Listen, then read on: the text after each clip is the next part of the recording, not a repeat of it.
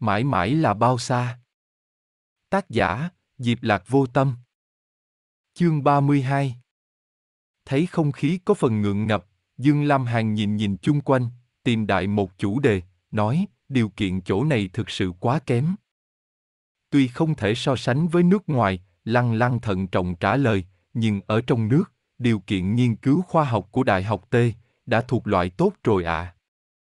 Dương Lam Hàn nghiêm túc nhìn cô, trên mặt hiện lên vẻ tán thưởng không hề che giấu, khi tôi vừa về nước, cảm thấy với điều kiện thí nghiệm của Đại học T, thì rất khó có được kết quả tốt.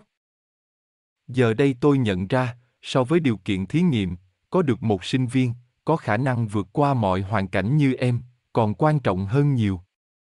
Em, lăng lăng được khen có phần xấu hổ, bất giác thay đổi tư thế, ngượng ngùng nói, còn nhiều sinh viên có ý chí vươn lên, có khả năng chịu gian khổ, giỏi hơn em nhiều, chỉ là thầy chưa biết thôi. Lăng lăng, Dương Lam Hàn nhìn cô, ánh mắt trở nên sâu thẳm. Em cảm thấy vất vả sao? Nếu em thấy cực khổ, tôi. Không đâu à. Cô lắc đầu, khẳng khái nói, em biết thầy rất tốt với em, em sẽ không làm thầy thất vọng. Đêm khuya cô tịch, quan hệ giữa người với người, nhờ có nỗi cô đơn mà trở nên vi diệu.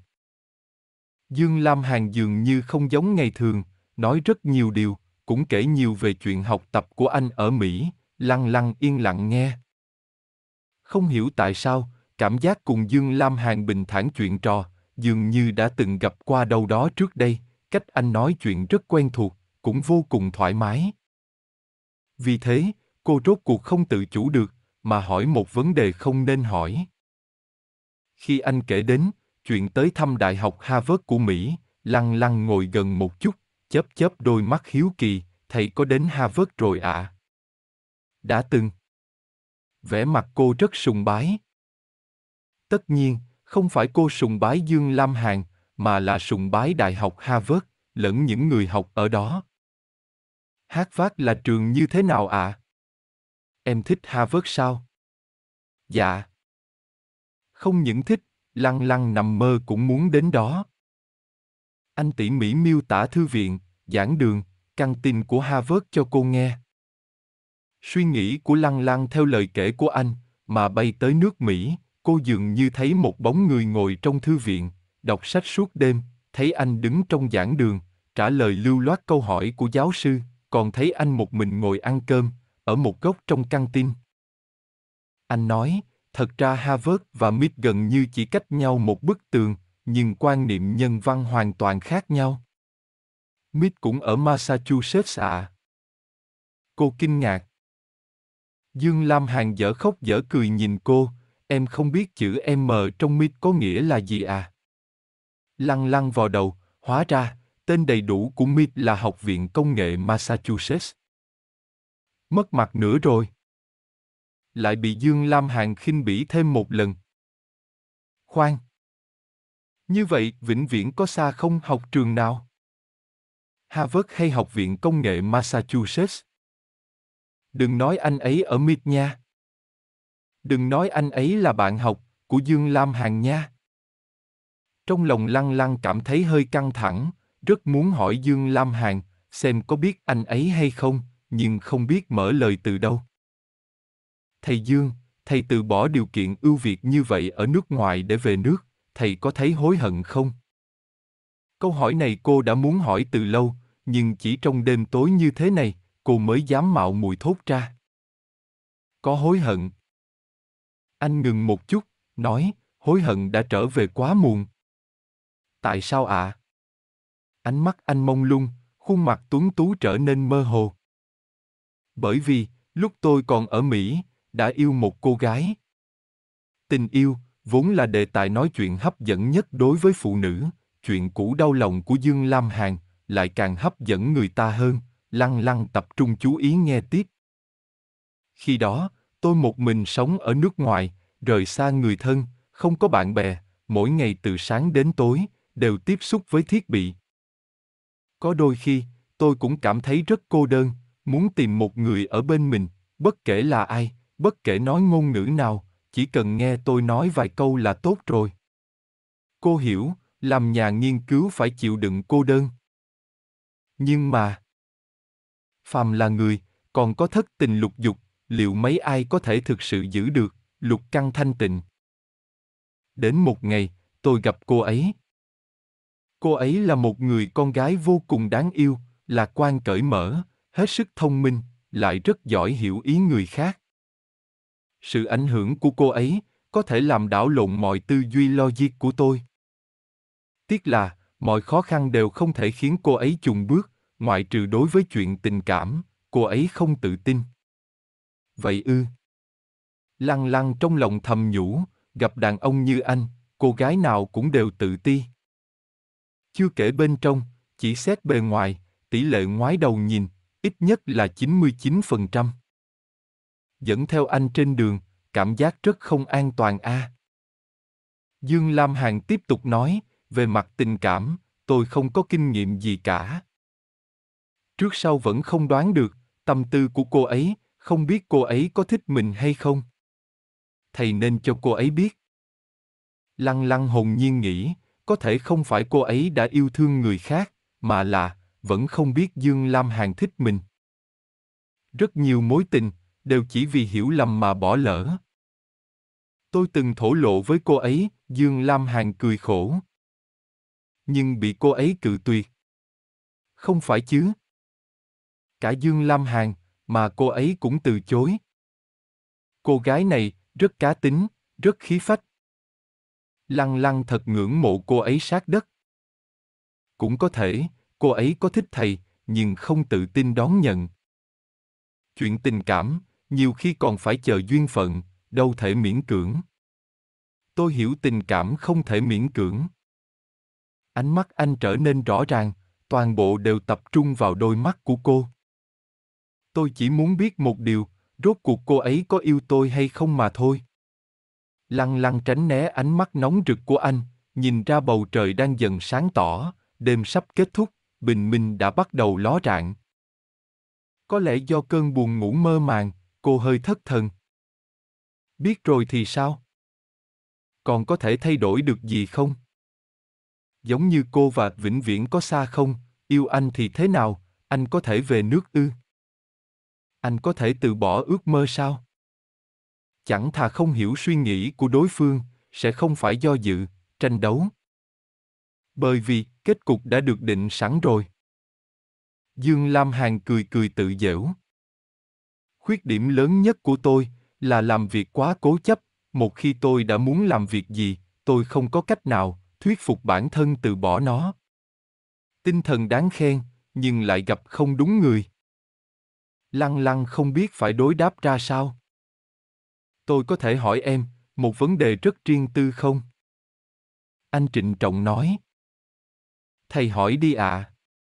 Em thật sự cảm thấy, sẽ không có cô gái nào đồng ý lấy tôi sao? Ây da! Chuyện từ tám đời rồi, mà vẫn chưa quên. Nhưng ngẫm kỹ lại, đối với một người đàn ông nản lòng trong tình yêu, những lời này, quả thực làm tổn thương người ta. Em nói bậy thôi à. Lăng lăng vặn ngón tay, cố tỏ ra tươi cười. Thầy Dương, thầy không soi gương sao? Hử? Em đề nghị, ngày mai trời sáng, thầy tìm một tấm gương to, soi mình thật kỹ. Thầy từ đầu đến chân, từ trong ra ngoài, đều rất ưu tú, phụ nữ muốn lấy thầy nhất định rất nhiều. Thật không? Vậy còn em thì sao? Em ạ. À? Lăng lăng trợn tròn mắt. Liên quan gì tới cô? Tại sao em lại ghét tôi đến vậy? Câu hỏi này. Nếu cô nói ra lý do, thì chẳng khác nào thú nhận mình ghét anh ta. Nếu không thừa nhận, thì coi thường chỉ số thông minh của Dương Lam Hàn quá. Anh đã sớm nhìn thấu tâm tư nhỏ bé của cô rồi. Thấy cô khó xử, Dương Lam Hàn tự biết chừng mực, nhìn đồng hồ. Trời sắp sáng rồi, em đến văn phòng tôi, nghỉ ngơi một chút đi. Không cần đâu à, bạn em sắp tới rồi, các bạn ấy giúp em trông coi thiết bị. Vậy trước tiên, em ngủ một lát đi. Cái này cho em, khi anh đứng dậy, không biết làm phép từ đâu, lấy ra một hộp sữa tươi. Uống một chút đi rồi ngủ. Cảm ơn thầy. Cô nhận lấy, trên hộp sữa vẫn còn lưu lại nhiệt độ cơ thể anh, thật ấm áp. Buổi tối, em đừng đến đây nữa. Nữ sinh ở qua đêm trong này, rất nguy hiểm. Thí nghiệm này, tôi sẽ phân công người khác làm. Em có thể mà. Cô đứng lên, kiên định nói. Thầy Dương, thầy không cần sắp xếp những người khác, em có thể làm. Em. Em có thể từ từ quen dần. Dương Lam Hàn cười cười, đưa tay đặt lên vai cô, không nói gì nữa. Anh đi rồi, lăng lăng nhìn sữa trong tay, không biết diễn tả ra sao cảm giác trong lòng, tự như khối băng, kết trong tim dần dần tan rã, từng giọt từng giọt biến thành nước, chảy xuôi trong cơ thể. Suy cho cùng, anh là một người đàn ông như thế nào? Sự ưu tú của anh khiến cả người lẫn thần đều phẫn nộ. Phong thái của anh khiến phần đông nữ sinh si mê, nhưng anh lại thủy chung song sắc, yêu một người con gái, không thể quên, không thể từ bỏ, vì cô ấy mà buồn bã về nước. 2. Một người đàn ông như vậy, làm sao không khiến người ta lòng đau như cắt cho được. Mơ mơ màng màng nằm đến hơn 6 giờ, Tiếu Tiếu cùng Kiều Kiều đến phòng thí nghiệm. Cô thu dọn mọi thứ đâu vào đấy, rồi trở về phòng ngủ. Sau một đêm thức trắng, việc hạnh phúc nhất đời người, không gì bằng thay quần áo ngủ, nằm trên chiếc giường thoải mái của riêng mình, ông lấy tấm chăn mới được giặt sạch, còn thoảng hương hoa nhài, đi vào mộng đẹp. Trong giấc mơ, Dương Lam Hàn vẫn đang cùng cô nói chuyện phím, Hàn huyên thật lâu, cô không ngừng gật đầu, nhìn vào ánh mắt sâu thẳm, gần trong gan tấc của anh. Sâu thẳm vô cùng. Tưởng như có thiên ngôn vạn ngữ, ẩn chứa trong đó, chẳng lẽ đây chính là cái gọi là nội hàm.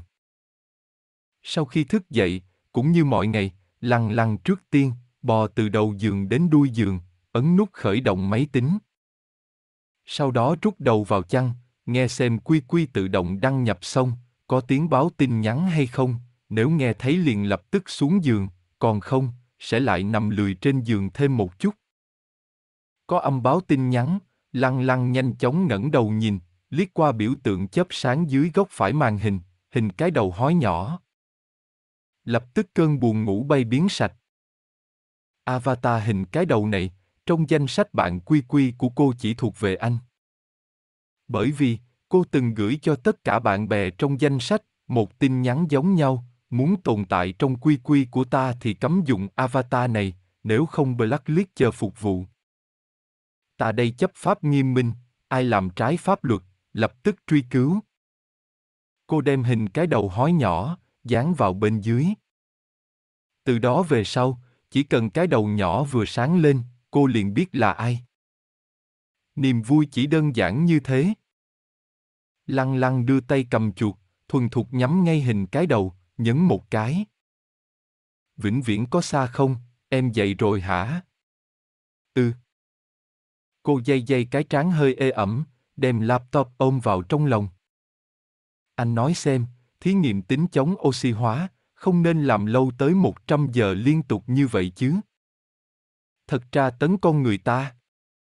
Anh có một bạn học, từng làm thí nghiệm chống oxy hóa đến 1.000 giờ. Anh bổ sung một câu. Kết quả cũng không lý tưởng. Xem ra, Dương Lam Hàn bắt cô làm 100 giờ, đã có thể coi là đặc biệt khai ân. Tâm lý cô cân bằng trở lại rồi. Tối hôm qua, em có mệt không? Đêm nay vẫn phải đi nữa à? Anh quan tâm hỏi. Không sao. Tổng cộng có 5 ngày 4 đêm, đương nhiên là phải đi rồi. Tại sao không để tên biến thái kia, tìm người giúp em? Lăng lăng nghiền ngẫm thật lâu những lời này, rốt cuộc cảm thấy không thoải mái. Cuối cùng, ánh mắt dừng trên hai chữ biến thái.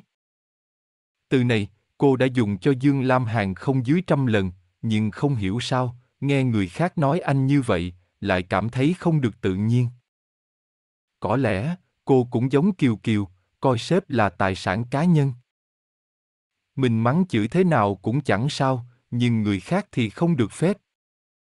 Thôi mặc kệ, lăng lăng không hơi đâu truy tìm nguyên nhân, tập trung chát, em không vào địa ngục, thì ai vào địa ngục đây? Dương Lam Hàn chỉ hướng dẫn, một sinh viên duy nhất là em. Anh ta có thể sắp xếp ai được chứ? Không lẽ, lại bắt một nhân vật trường cột quốc gia như anh ta, đi canh chừng dùm mấy cái thiết bị, không đáng tiền kia. Hả? Anh ta biến thành trường cột quốc gia, từ khi nào vậy? Không thể phủ nhận là, anh ta rất biến thái, nhưng mà anh ta, lăng lăng nhìn thoáng qua hộp sữa trên đầu giường, tiếp tục đánh chữ, anh ta miễn cưỡng, cũng có thể coi như tài nguyên quốc gia. Lạm dụng tài nguyên quốc gia là phạm pháp nha. Tài nguyên quốc gia. Không phải anh ta không thể kiếm vợ sao? Cô bất chợt nhớ lại, câu nói của Dương Lam Hàn tối qua, tôi không thể nào thuyết phục bản thân từ bỏ được. Một tình yêu thật cảm động, cũng thật vô vọng, nhưng anh ta cứ một mực chấp nhất đến thế. Lăng lăng nhất thời cảm khái, nói, theo em thấy, anh ta có khả năng sống cô độc, suốt quãng đời còn lại. Đối phương trầm mặt. Cô lại bồi thêm một câu, càng kích động người khác, cũng tốt thôi. Quốc gia có thể tận dụng triệt để tài nguyên. Sao anh không nói tiếng nào vậy? Trên mạng đầu bên kia, có một người đang thở dài thật sâu, thế này mà còn phải hỏi à? Tiết kiệm tài nguyên quốc gia. Em đi ăn chút gì đi, phải chú ý sức khỏe đấy. Anh nói. Em biết rồi. Buổi tối thức đêm rất dễ đói, dạ dày em không tốt, nên mang theo chút đồ ăn. Lăng lăng trong lòng ấm áp, nhưng ngoài miệng lại nói, em nhớ rồi, nói nhiều quá hà. Bye bye. Quả nhiên không nói nhiều nữa. Bye. Bốn đêm trôi qua, lăng lăng phát hiện ra, một chuyện khiến lòng cô ngập tràn cảm xúc. Đó là Dương Lam Hàn, hàng đêm đều ở lại trong phòng thí nghiệm, bởi vì cô có thể đứng ở chỗ rẽ cầu thang, nhìn thấy ánh đèn trong văn phòng anh, mỗi đêm đều sáng. Lăng lăng chưa bao giờ dám quấy rầy anh, mỗi lần, giật mình thức giấc trong phòng thí nghiệm tĩnh mịch, cô đều chạy đến chỗ rẽ cầu thang, nhìn ánh đèn trong văn phòng anh, biết trong tòa nhà rộng lớn này, vẫn còn có thầy giáo của mình, cô sẽ can đảm quay về ngủ. Có khi, cô cũng sẽ nghĩ, cuộc sống như vậy, anh vui vẻ sao? Anh có cô đơn không? Hiện giờ, liệu anh còn muốn có người cùng anh trò chuyện, bất kể là ai, bất kể dùng ngôn ngữ gì?